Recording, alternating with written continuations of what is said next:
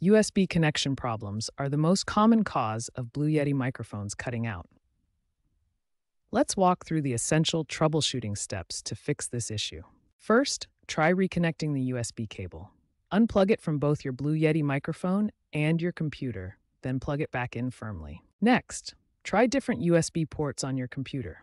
The ports directly on your motherboard at the back of your PC often provide the most stable connection compared to front panel or hub ports. If reconnecting doesn't work, replace the USB cable entirely.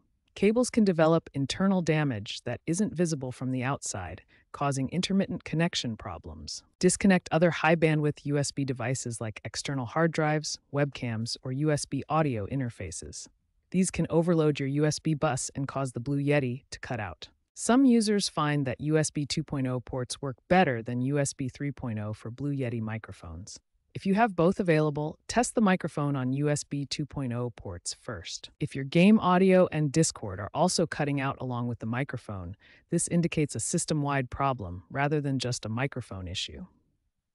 In this case, check your overall system audio drivers and settings. Outdated or corrupted drivers are a common cause of Blue Yeti microphones cutting out during recording or streaming sessions. These driver problems can manifest as audio cutting out, the device not being recognized, or poor sound quality. The first method is updating drivers through Device Manager. Right-click the Start button and select Device Manager, then expand Audio Inputs and Outputs. Right-click on your Blue Yeti microphone and select Update Driver then choose Search automatically for drivers. For the most up-to-date drivers, download Logitech G Hub from the official Logitech website.